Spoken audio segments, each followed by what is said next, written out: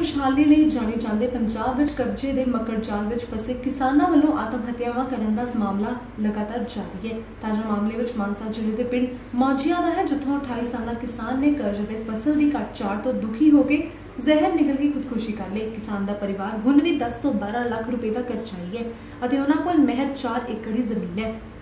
ਇਹ ਲਗਾਤਾਰ ਜੀ ਪੰਜਾਬ ਦੇ ਵਿੱਚ ਵਰਤਾਰਾ ਚੱਲ ਰਿਹਾ। ਨੌਜਵਾਨ ਮੁੰਡਾ, ਸਾਰੀ ਉਮਰ 27 28 ਸਾਲ ਸੀ ਬਿੱਕਰ ਸਿੰਘ। 10ਵੀਂ ਪਾਸ ਸੀ, ਬੇਰੁਜ਼ਗਾਰ ਸੀ। ਅੱਜ ਜਦੋਂ ਕਣਕ ਦਾ ਝਾੜ ਘਟਿਆ ਤਾਂ ਉਹਨੇ ਖੁਦਕਸ਼ੀ ਕੀਤੀ ਹੈ। ਅਸੀਂ ਮੰਗ ਕਰਦੇ ਹਾਂ ਵੀ ਇੱਕ ਤਾਂ ਜਿਹੜੀ ਸਰਕਾਰ ਦੀਆਂ ਪਾਲਿਸੀਆਂ ਜਿਹੜੀਆਂ ਜ਼ਿਆਦਾ ਮਾੜੀਆਂ ਨੇ, ਐਲਾਨ ਕਰ ਦਿੰਦੇ ਨੇ ਵੀ ਇਹ ਮੁਆਵਜ਼ਾ ਦੇਵਾਂਗੇ 3 ਲੱਖ 4 ਲੱਖ, ਤੇ ਉਹ ਜੋ 10% ਕਿਸਾਨਾਂ ਨੂੰ ਵੀ ਮੁਆਵਜ਼ਾ ਨਹੀਂ ਮਿਲ ਰਿਹਾ।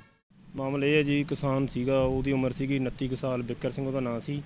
ਕਰਜ਼ੇ ਦੇ ਬੋਝ ਕਾਰਨ ਤੇ ਐਤਕੀ ਕਣਕ ਕਣਕ ਦਾ ਝਾੜ ਘੱਟ ਨਿਕਲਣ ਕਾਰਨ ਉਹ ਬੰਦੇ ਨੂੰ ਉਹਦੇ ਡੈਡੀ ਨੇ ਲਾਲ ਸਿੰਘ ਨੇ ਬਿਆਨ ਲਿਖਾਇਆ। ਕਿ ਉਹ ਪਰੇਸ਼ਾਨ ਹੋ ਗਿਆ, ਜਦੋਂ ਝਾੜ ਘੱਟ ਨਿਕਲਿਆ ਤੇ ਉਹਨੇ ਖੁਦਕੁਸ਼ੀ ਕੀਤੀ, ਜ਼ਹਿਰੀਲੀ ਚੀਜ਼ ਪੀ ਕੇ ਮਾਨਸਾ ਜਗਦੀਸ਼ ਬਾਂਸਲ ਦੀ ਰਿਪੋਰਟ, ਚੈਨਲ 2